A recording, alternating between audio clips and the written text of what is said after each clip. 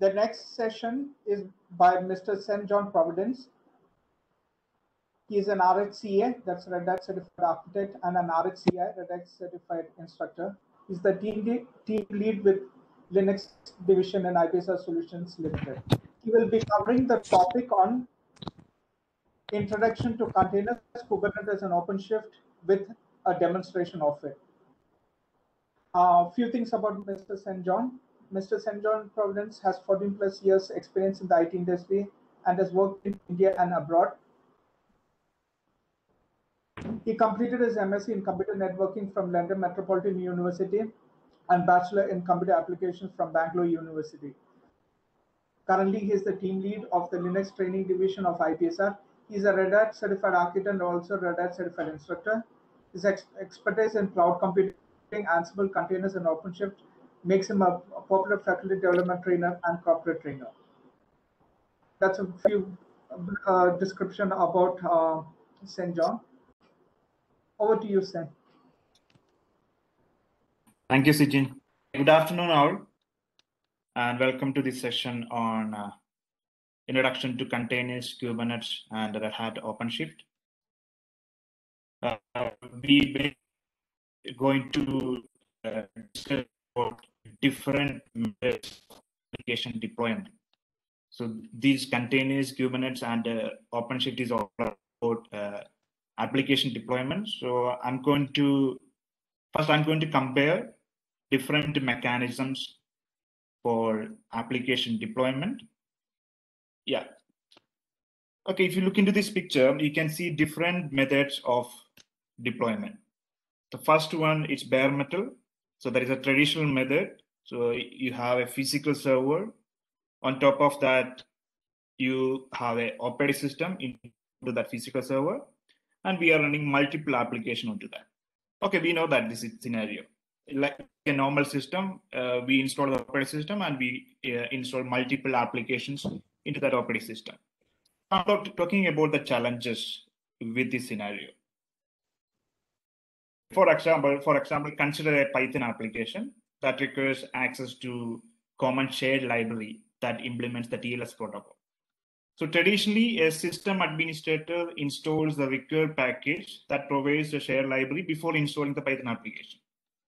But the main drawback to traditionally deployed software application is application depends the runtime environment. Update any patch updation to this app one. Because of that patch, if I update to the operating system, the app one will run uh, without any trouble, but that may affect app two and app three. So that means we need the isolation of applications. So we need the app one get isolated from other applications and also isolate get isolated from the operating system. So in second scenario, we get that isolation by running a hypervisor in a virtual environment, hypervisor environment on top of that guest operating system. And we can separate any one of the application with a separate virtual machine. We got the solution, but the problem here it is cost. Just for isolating the applications we are running an additional resources uh, like uh, which is used for running an uh, operating system so that is virtualized environment. But if you consider containerized environment, our objective is to get the application isolated. We get the feature like application isolated here, like application one, application two, and application three. These are isolated each other, and also it is no uh, the, any updates to the host operating system is not going to affect any one of these applications running on top of that host operating system. So you can see there is a new thing. Instead of hypervisor, there is a concept called container engine here. Container engine. So this engine will make sure that this application will run uh, without any any problem related to the host operating system. So this is what we are going to discuss in the coming slides. So I'm going to give you some demonstration based on containerization. Finally, the OpenShift of course, you can uh, containerize your applications on a virtualized environment. Like in AWS, uh, your AWS instances can act as our physical, uh, I mean, virtual servers on top of that host operating system, then hypervisors, uh, then applications, etc. Okay, so moving to the next slide. So what is container? So a container is a set of one or more processes that are isolated from the rest of the system. So if you look into this picture, application A can be a, a web server, B can be a, a, SQL server, C can be another application, but these all are isolated because of this containerization. So here another word called Docker. Docker is a container engine. Docker, Podman, yeah, CRI-O. There are different varieties of container engines available in the market. So this will be implemented on top of a host operating system. It depends on different uh, container engines. There are different varieties of uh, specially designed host operating system for containerization. Okay, so I'm going to take an example of a container engine called Podman. So before going into the demonstration, I will explain what this Podman will do.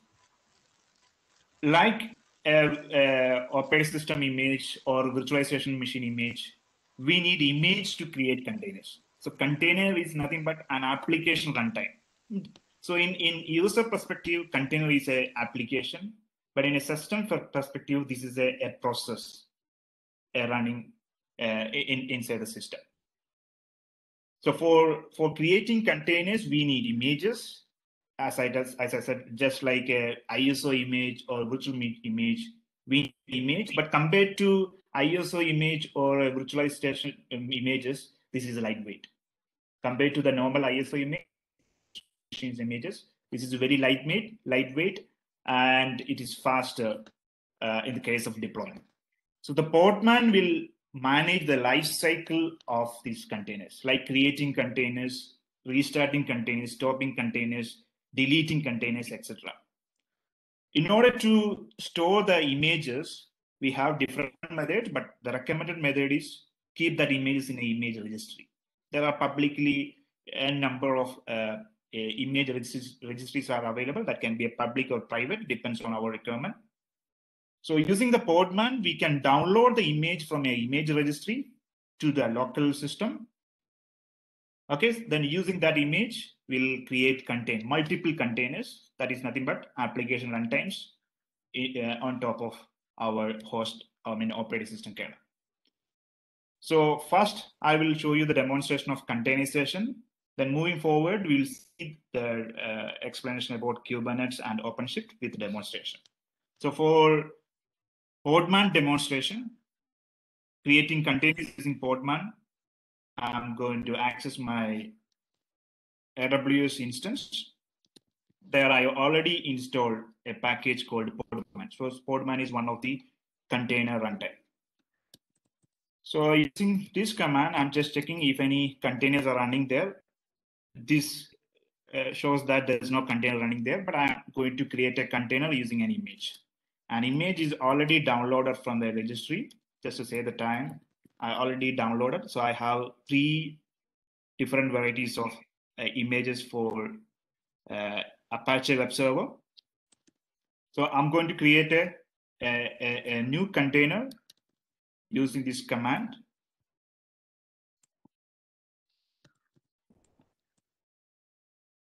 Podman.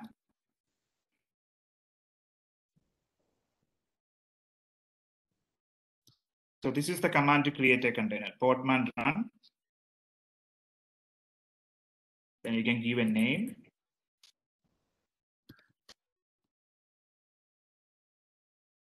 And I'm going to run in the background.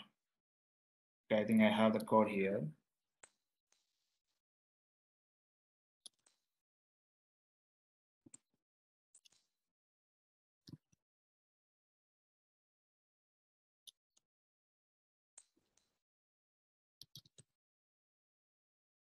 Okay, this is the command podman run. Minus D means run in the background with the port forwarding. In order to access that web application, we need a port forwarding, something like that. So 8082 port in uh, in this host and 80 which is listening inside the container And this is the image we have already downloaded, Docker IO CentOS HTTPD. Okay, I'm creating that. Okay, that is created within a fraction of a second. So now I'm going to check the status of that container using sudo podman ps. Yes, that is running and listening in uh, 808082 in localhost to 80 in the container. So how to get inside the container? I can use Podman because I need to customize the index.html file so that uh, I, I, I, can give my own word into that index.html file. So in order to get inside the container, I'm going to use Podman exec command with the interactive terminal, that is IT. Interactive terminal, the name of the container that is web. I, I gave then, okay, sorry. I didn't give any name, right? So I used the container ID. I'm accessing with the bash. Okay.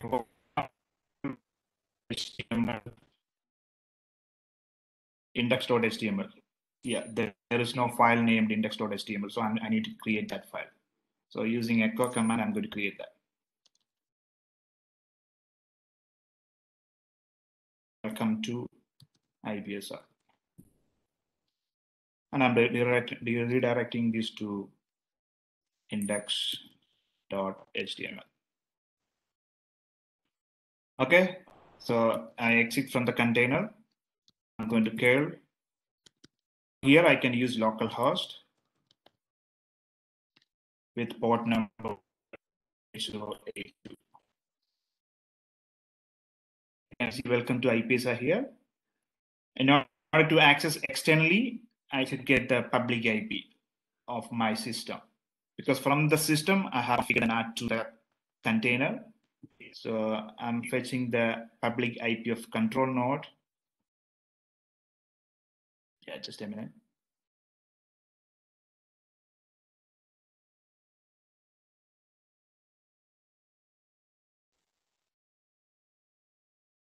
Okay, so this is the public IP.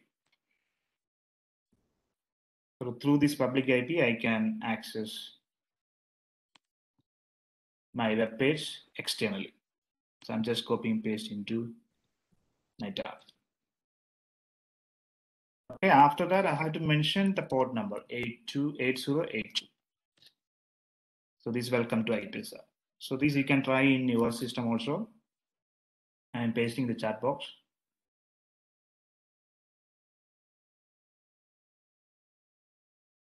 this IP address with port number because first time I forgot to mention the port number because there are multiple web servers are listening in my system, but I should make sure that I'm pointing to the correct port number. So if you go back to here, 8082 here, because by default, this machine is listening for some other port number, but in order to get this specific web server, I need to use 8082. Okay, so this is an introduction to container but our main topic is what is OpenShift. So I'm going into that. Before that, we need to find out the limitations of containers. There are limitations.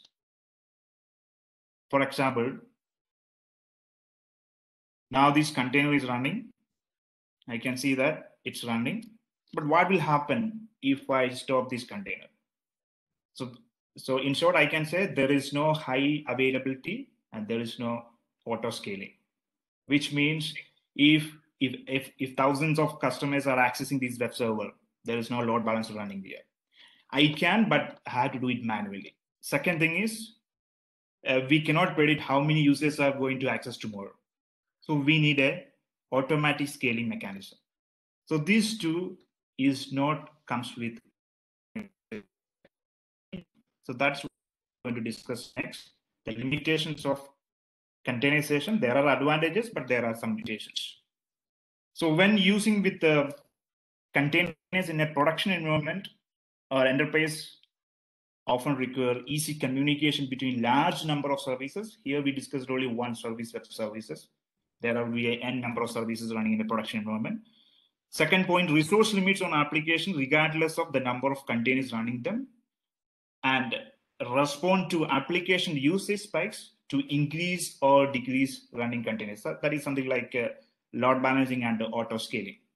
So enterprise require a container orchestration technology for automatically managing uh, or automatically maintaining the highly available high, high available cluster or high available applications and also how we can automatically manage the scaling out and scaling in.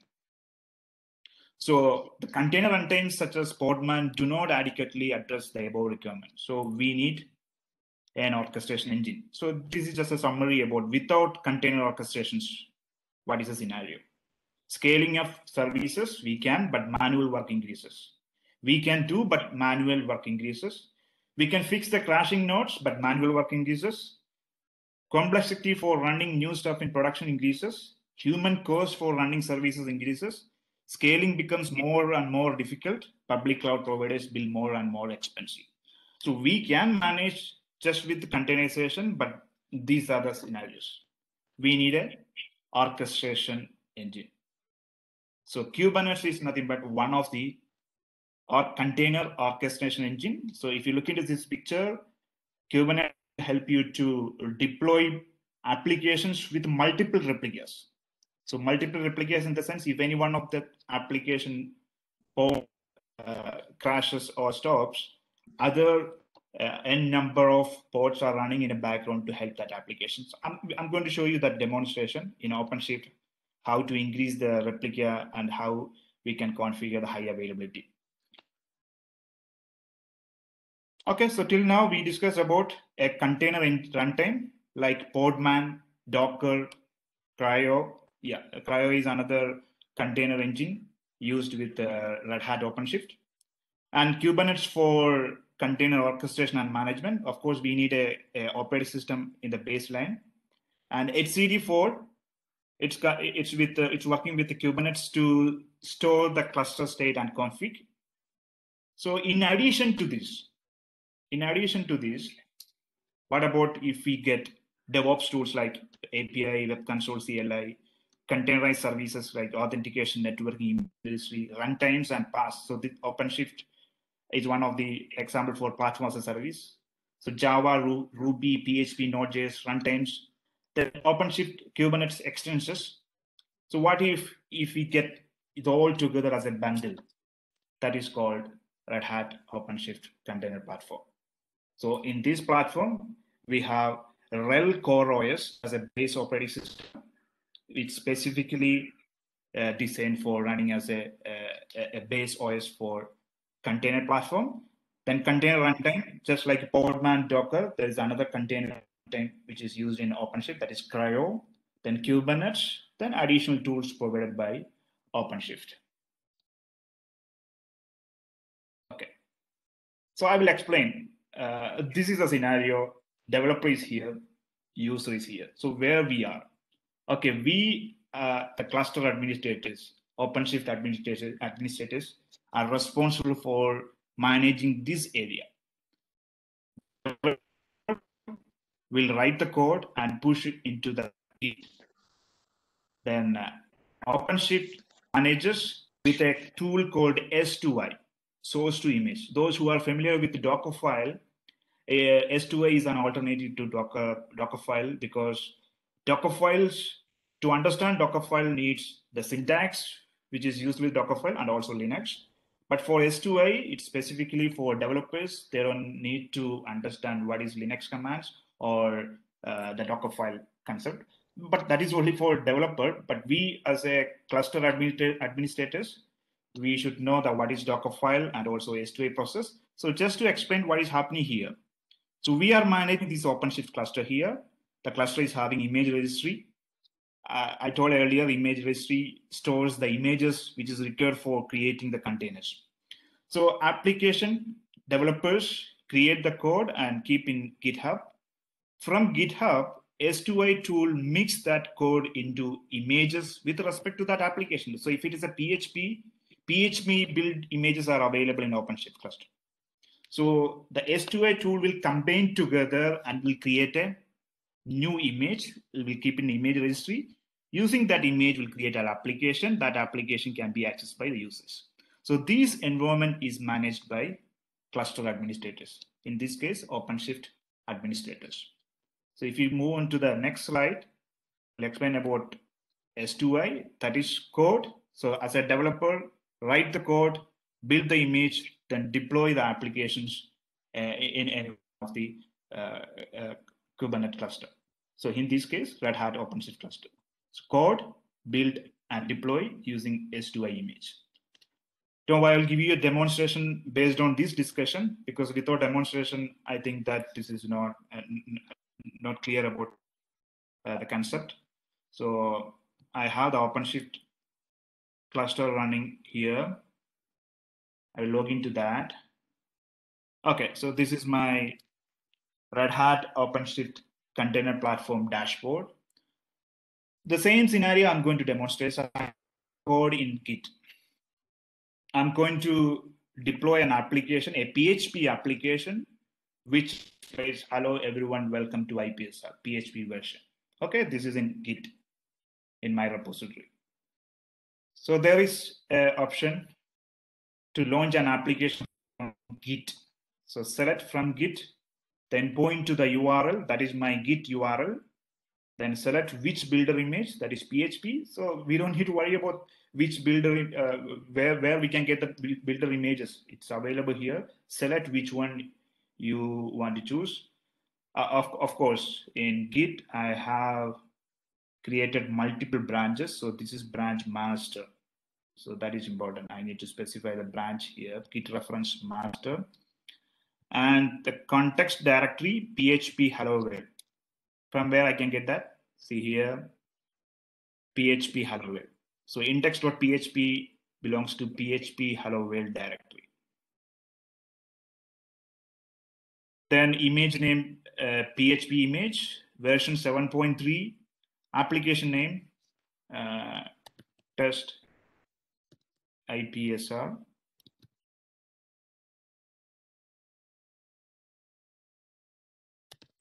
Test IPSR.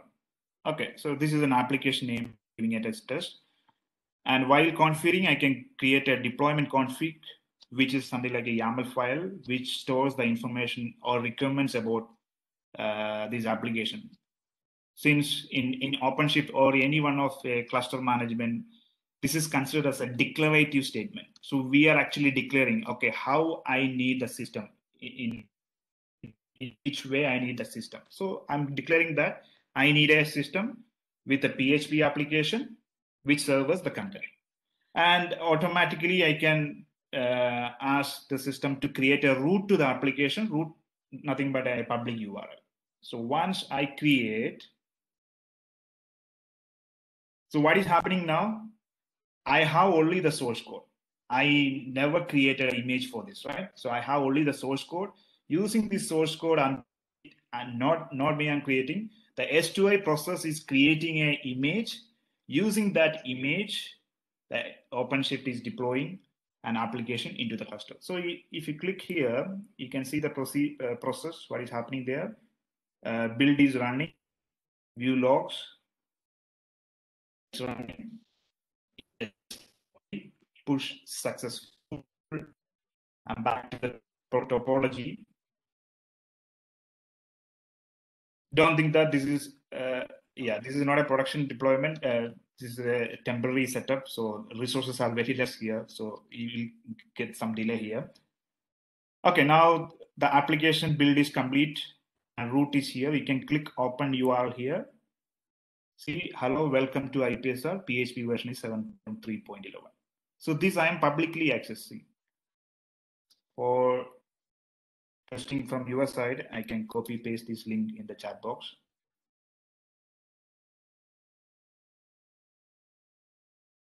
Okay, so this is a public URL. So uh, I don't need to worry about creating the URL or I need to, need to worry about finding the IP address.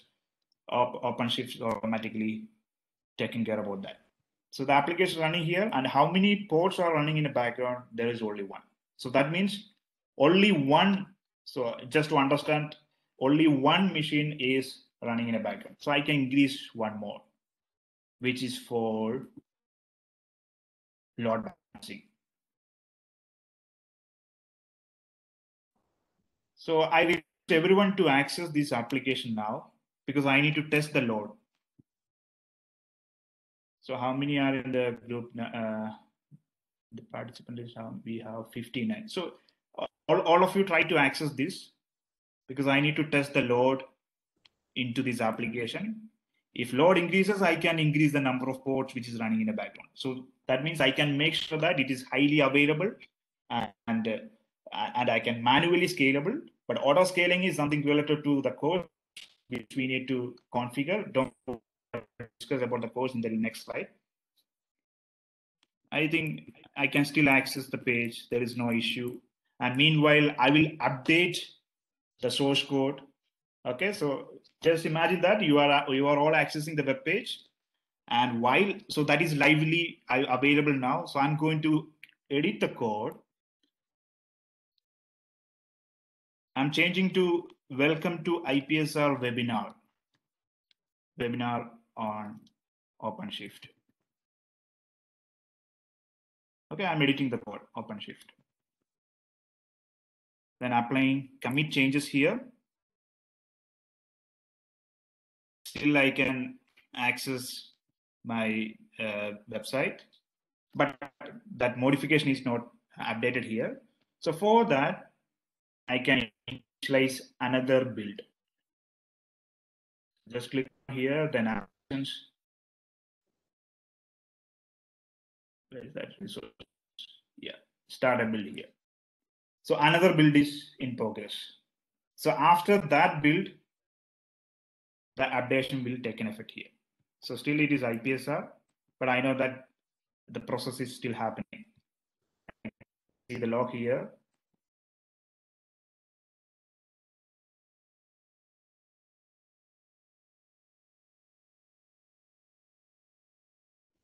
Yeah, it's not yet completed.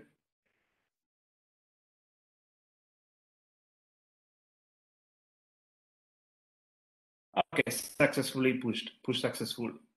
Going back to topology and I'm checking the status. Build is completed. Now, where is my URL? Very important thing, thing to understand is the URL not changed, but uh, our application pods are changed.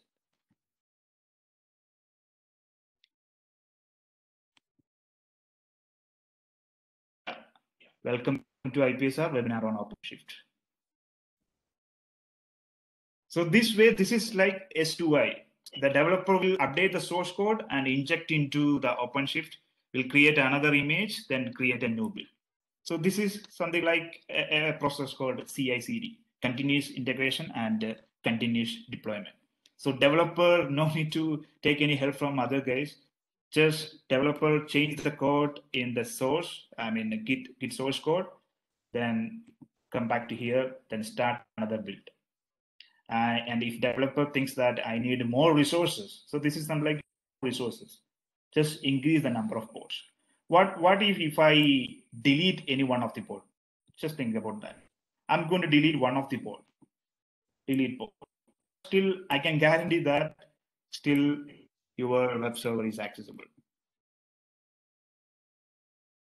Why? Because even though I deleted that, because of this replica, replica uh, uh, controller, replication controller, it automatically created the second one again. See, come back to here, the pods are still, two pods are still running.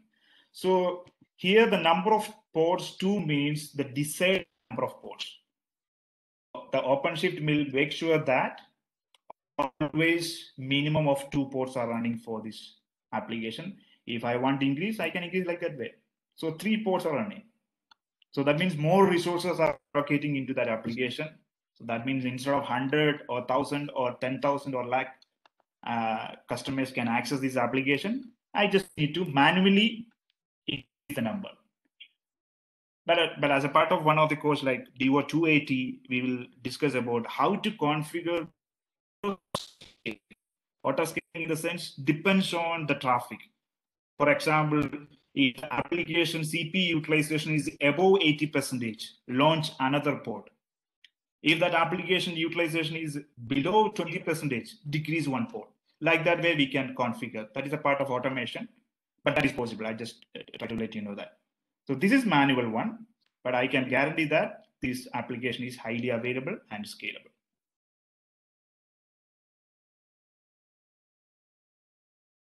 So coming back to uh, um, my slide presentation.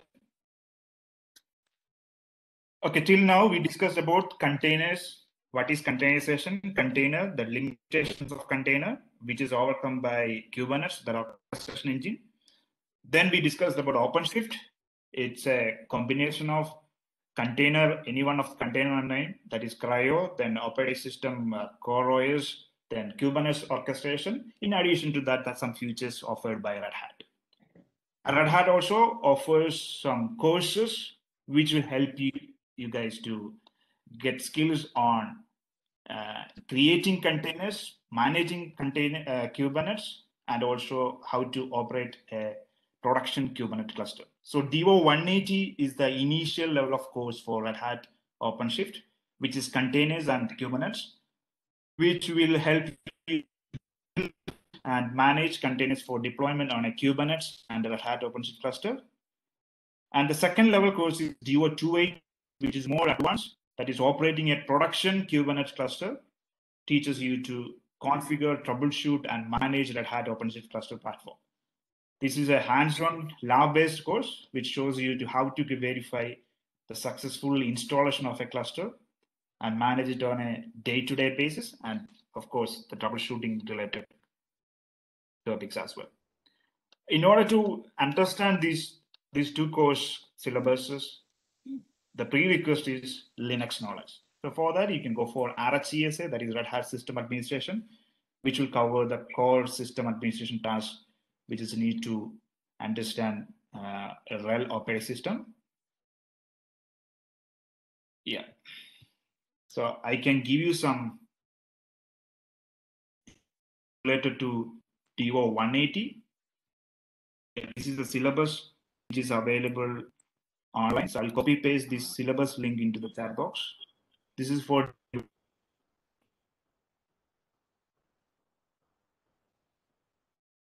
Okay, the first URL is DO 180. Okay, so there is a 70% discount on DO 180 course.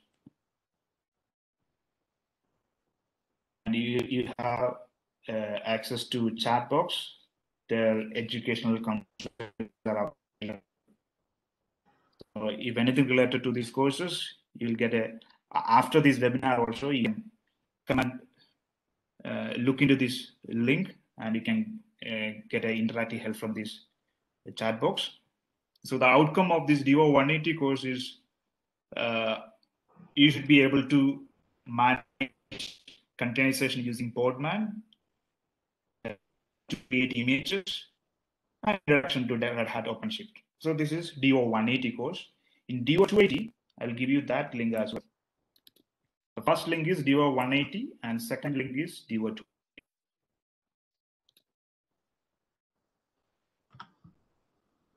So in continuation of DO 180, in DO 280, you will be getting uh, a deep knowledge of OpenShift cluster platform, installation and update process, then troubleshooting to application deployment, how to configure users, role-based access, then service and uh, container networking, then how to manage the pod scheduling. Yeah, uh, the high availability and uh, auto scaling is comes under that chapter then how to manage the limiting compute resources with applications, then scaling a cluster.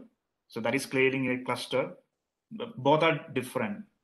Auto scaling application is the number of pods uh, running in a, running for an application. Scaling a cluster means number of nodes running for a cluster. Then finally, uh, monitoring cluster events and alerts. So this is DO 280 operating production Kubernetes cluster. Oh, also, so these two links and syllabus, syllabus also available here. If you click on this few full course syllabus, you get the you'll get the full course syllabus of DO 180 and 280. So just bookmark these two links for DO 180 and 280. yeah that's it from my side. Thank you.